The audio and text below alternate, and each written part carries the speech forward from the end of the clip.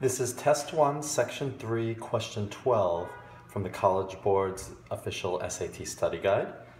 Okay, so we're given that a line in the xy plane passes through the origin, which is the point 0, 0, and has a slope of 1 seventh. And they're asking which of the following points lies on the line. I have those points in green over here.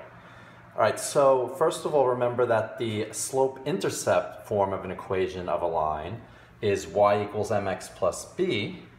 Here we're given that m is 1 seventh, and we're not specifically told what b is, but the origin, or the point 0, 0 being on the line, means that b equals 0, because b is the y-coordinate of the y-intercept of the line, and this is in fact a y-intercept of the line.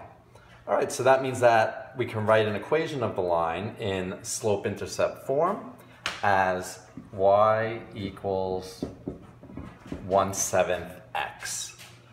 So in other words, we're just looking for a point whose y-coordinate is 1 seventh of the x-coordinate. So we could just go through the points multiplying each x-coordinate by 1 seventh to see if we get the corresponding y-coordinate. Well, um, 1 seventh times 0 is 0, not 7. 1 seventh times 1 is 1 seventh, not 7. 1 seventh times 7 is 1 and not 7. And 1 seventh of 14 is in fact 2.